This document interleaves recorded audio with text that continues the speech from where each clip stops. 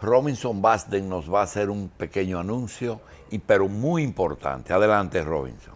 Doctor, muy buenos días. Carlos, Machi, Junior. Doctor, permítame antes que nada felicitarlo realmente.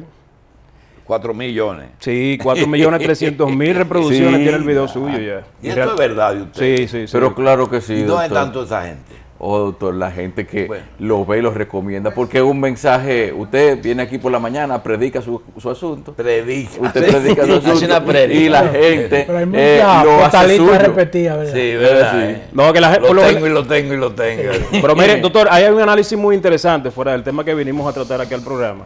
Eh, es que usted ha logrado conectar con las tres generaciones principales del país. Con los adultos mayores, los adultos Los jóvenes viejos, los y- viejitos y los otros. y los millennials, que realmente eso le da mucho Vamos valor. Miren, señores, en, en el día de hoy nosotros queremos dar a conocer al país eh, las, las actividades de compromiso social que viene realizando LIR Comercial.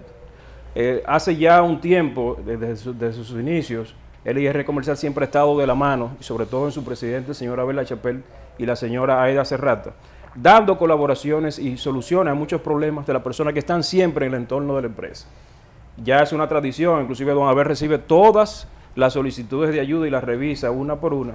Y fruto de esto se ha dado al traste de situaciones, por ejemplo, como la catástrofe que recientemente pasó en el Cibao, donde LIR este, dio su, su aporte, dio su, su participación.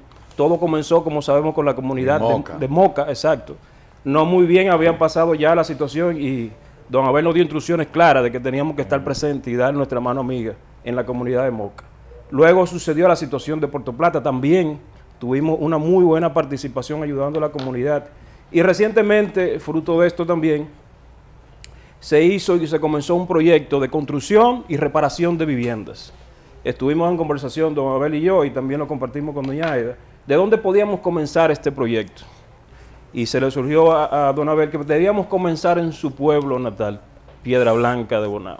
Entonces queremos mostrarle unas imágenes, doctora, ahí la tenemos en el aire, de la actividad que se realizó en Piedra Blanca de Bonao, en lo que es la reparación de vivienda y construcción de vivienda para personas de escasos recursos y que tienen una suma necesidad de vivir en unas condiciones habitables eh, eh, loables que le permitan continuar de manera natural con su vida. Ahí están los testimonios de las personas. Piso de cemento y techo de zinc. Sí. Tenemos audio aquí abajo. Bien. Ahí está el alcalde, eso se hizo en coordinación el con el... y la importancia del programa, el cual busca integrar a más empresarios e instituciones, tanto nacionales como internacionales.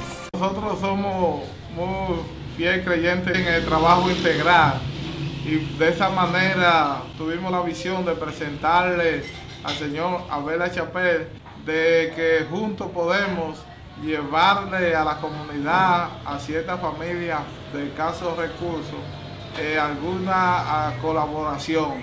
De esa manera nos unimos, él lo vio viable y nos unimos eh, a reparar con piso, pintura, eh, construcciones, reparaciones de alguna vivienda de personas de escasos recursos, porque creemos que eso sí disminuye eh, la pobreza. El funcionario edilicio también exhortó a las empresas radicadas en la zona a respaldar el programa de construcción, reparación y mejora de viviendas que lleva a cabo la Alcaldía de Piedra Blanca como forma de atenuar la pobreza en que viven decenas de familias en este municipio. Invitamos a las mineras que están a nuestros alrededores, gracias a las instituciones, a la persona de Abelo La Chapelle por esta acción en estos momentos. Con la alegría reflejada en sus rostros.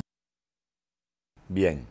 Nosotros vamos a pedirle a Robinson que nos traiga más a menudo todas las actividades, porque tienen otras actividades que tienen que ver con el problema de la educación, cuadernos y cuadernos de caligrafía, que parece que se ha olvidado eso, Machi, ya no se hace caligrafía. Hay Coquito y hay Palmer. A la gente no le gusta, no le conviene escribir, le gusta chatear ahora. Vamos entonces a hacerlo.